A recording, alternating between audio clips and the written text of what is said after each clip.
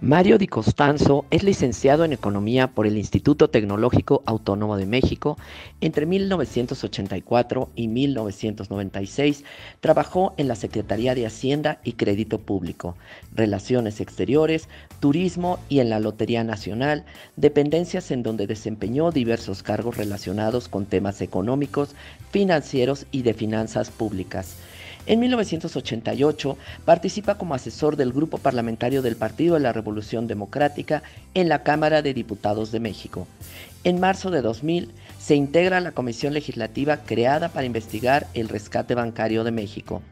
En 2001 se incorpora como asesor en la Comisión de Hacienda y Crédito Público y posteriormente formó parte del equipo de asesores de la Comisión de Vigilancia de la Auditoría Superior de la Federación. En 2003 se integró al grupo de asesores de la Unidad de Evaluación y Control de la misma Cámara de Diputados. De 2009 a 2012 se convirtió en diputado federal por el Partido del Trabajo al ganar la elección por el Distrito 20 en Iztapalapa. Como diputado federal fue integrante de las comisiones de Hacienda y Crédito Público, Gastos Fiscales y Competitividad y fue secretario de la Comisión de Vigilancia de la Auditoría Superior de la Federación.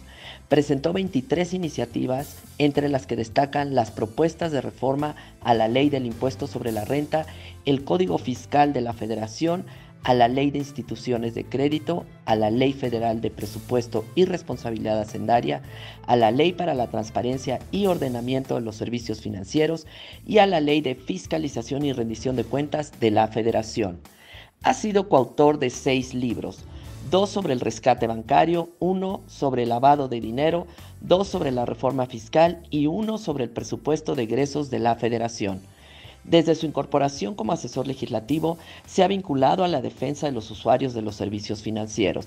Fue presidente de la Comisión Nacional para la Protección y Defensa de los Usuarios de Servicios Financieros. Además, ustedes pueden verlo en Atypical TV, un programa semanal que Mario Di Costanzo comparte con otras personas para analizar la economía mexicana.